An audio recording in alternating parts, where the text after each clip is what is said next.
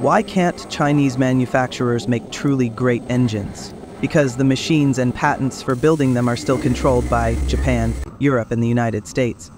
Here is how a Volkswagen EA211 crankshaft is made. First, the end face is cleaned and a center hole is drilled, done on a machining center from Aceta in Spain.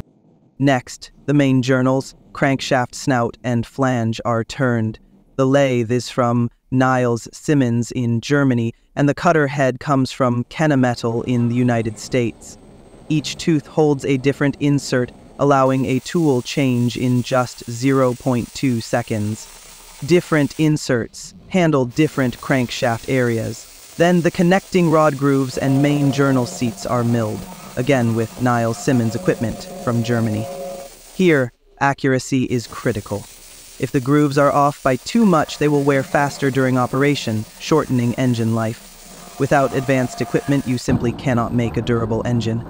Next, deep holes are drilled in the crankshaft for oil passages. Using a high-precision deep-hole drilling machine from Azeda in Spain, these channels deliver oil to the journal's surfaces for lubrication. After that comes heating and quenching, done with a high-frequency induction hardening system from Elotherm in Germany. Induction quickly heats the surface, then rapid cooling hardens it, boosting both strength and durability. Then more holes are drilled to reduce crankshaft weight. Again, with Azeda equipment from Spain, hollow journals cut down centrifugal force when the engine spins. Now the main and rod journals are precision ground on a twin-wheel grinder from Landis in the United Kingdom, CBN grinding wheels cut with high accuracy while a Marposs measuring head from Italy checks dimensions in real time. Next is dynamic balancing, handled by a Schenck machine from Germany. Holes are drilled in precise spots to offset the centrifugal force from the rods and crank throws, keeping the engine smooth and easing the load on the main journals.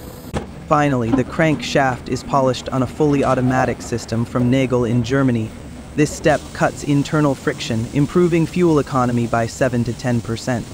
So, in machining technology, how far behind Europe and the US do you think China still is?